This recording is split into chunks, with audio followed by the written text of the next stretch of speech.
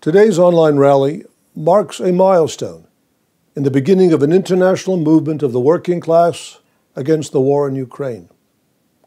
Today's speakers have not only explained the historical origins, present day aims, and potential consequences of the war, they have also exposed the criminal character of this war and presented an indictment of all the governments responsible for its planning, instigation, and execution.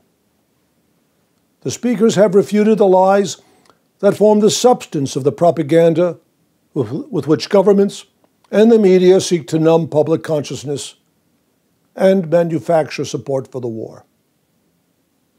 Taken as a whole, today's speeches lead to definite conclusions about the nature of the U.S.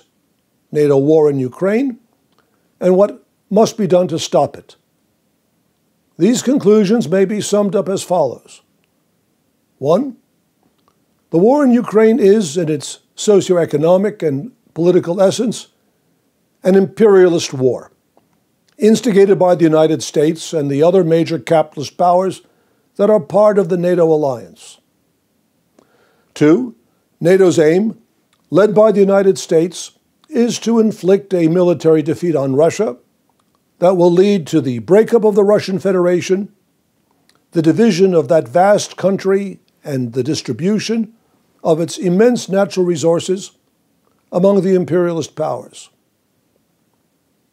Three, the elimination of Russia as a barrier to NATO's eastern military expansion into Eurasia will, the imperialists believe, result in the encirclement of China and force the latter country's submission to the dictates of imperialism, either as a result of war or as in the case of the Chinese regime's abandonment of its zero COVID policy, concessions in the face of relentless global capitalist economic pressure. Four, in the final analysis, the political aim of the war, like the two world wars of the 20th century, is a new redivision of the world among the imperialist powers. The logic of this process extends beyond even the conflict with Russia and China. The NATO alliance and the ancillary military pacts that include countries in Asia and the Asia Pacific comprise not a band of brothers, but a den of imperialist thieves and cutthroats. The logic of inter- imperialist rivalries will lead in the not too distant future to bitter conflicts among the temporary allies of today.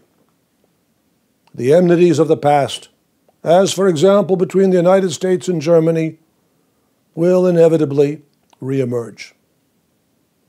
Five, the outcome of this process, unless stopped by the working class, will be a global cataclysm on a scale that dwarfs the violence of the past.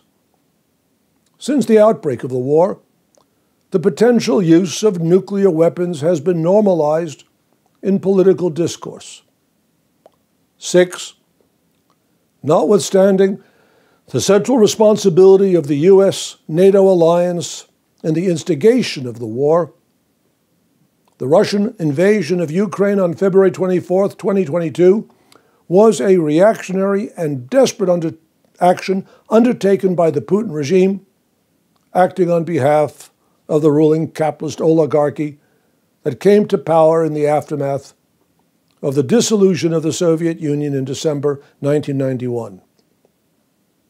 Seven, the Putin regime's efforts to justify the war by invoking the reactionary heritage of Tsarism and neo Stalinist national chauvinism represents a despicable historical regression. The provocations of NATO would not have been successful were it not for the fact that the Putin regime is the outcome of the total repudiation of the far sighted democratic principles upon which the Union of Soviet Socialist Republics was founded in 1922, five years after the October Revolution.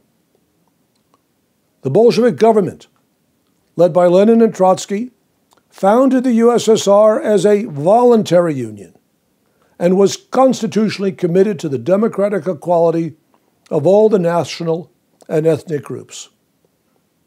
The deliberate encouragement of national chauvinism in Russia, which finds its openly fascistic counterpart in Ukraine, created the ideological prerequisites for the fratricidal conflict between the masses of both victimized countries.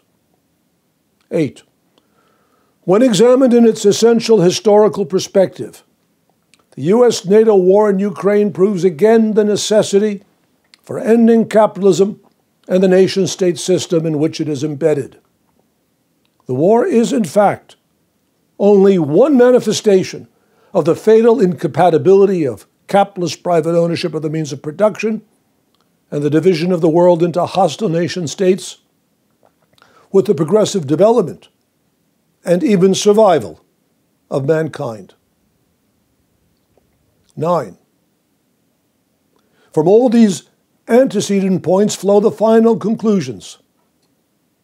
The struggle against war proceeds through the forging of the unity of the international working class and the ending of capitalist rule through world socialist revolution. And finally, 10. For the achievement of this world historical task, it is necessary to develop within the working class a new revolutionary party. But this task need not be undertaken from scratch. The foundations of this revolutionary party already exist in the Fourth International, founded by Trotsky, led by the International Committee today, whose work is based on the immense historical experience spanning a century of the Trotskyist movement. Today's international rally has advanced the perspective and program of socialist revolution and working class power. But it has been directed primarily to the youth of the world. This does not contradict our program.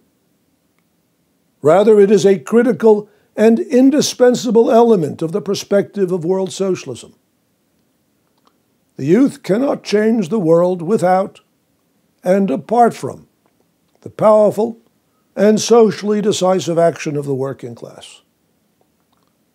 But there has never been, nor can there ever be, a genuine revolutionary movement without the fighting energy, enthusiasm, and idealism of young people.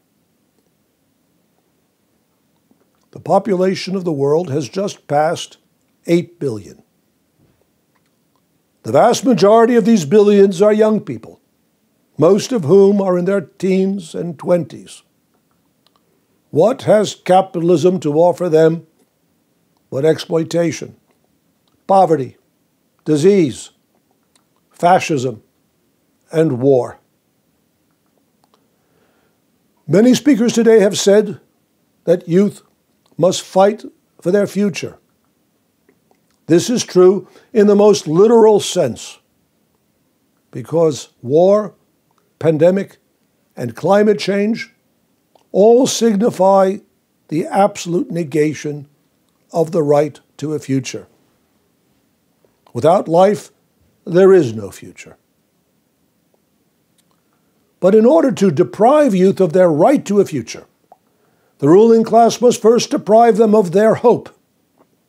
That is, the capitalist elites, controlling governments and the media, do all that they can to convince youth that there is nothing that they can do to change the world, that the injustices that exist today will exist forever, that the causes of human misery are rooted in the very nature of human beings and their somehow mystical psyche, rather than in the economic interests and relations that really determine the course of society.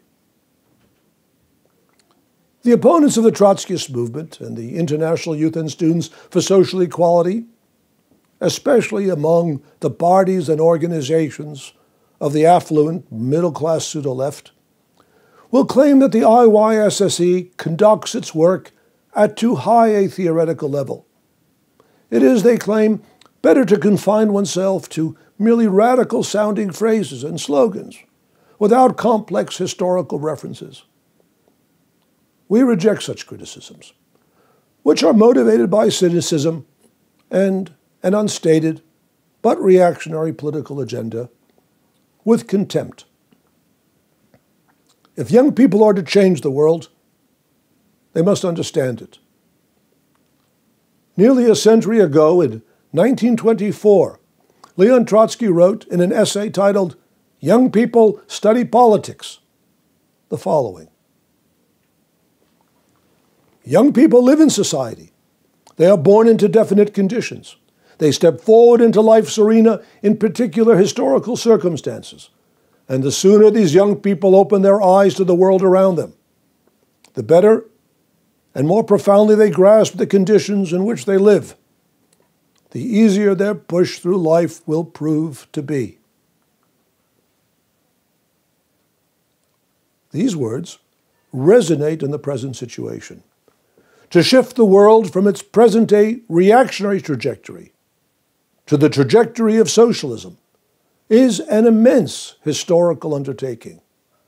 Its achievement requires the serious study of politics, specifically politics that is based on the Marxist materialist conception of history, which makes possible a scientific study of the laws that govern the capitalist system and the class struggle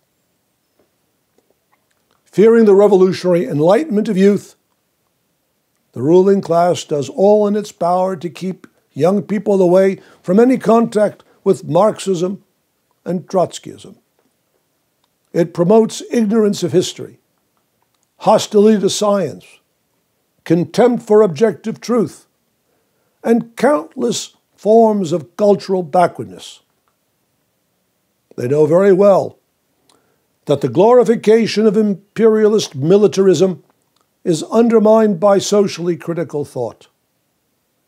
The reduction of youth to cannon fodder for imperialist wars requires blind obedience based on the old militarist precept yours is not to reason why, but to do and die. But the international youth and Students for Social Equality is determined to provide young people with the political education that they require in the fight for their future and the future of working people throughout the world. In concluding this rally, we call on you to make the decision to join the IYSSE, build a mass movement to end the Ukraine war, and take forward the struggle for world socialist revolution.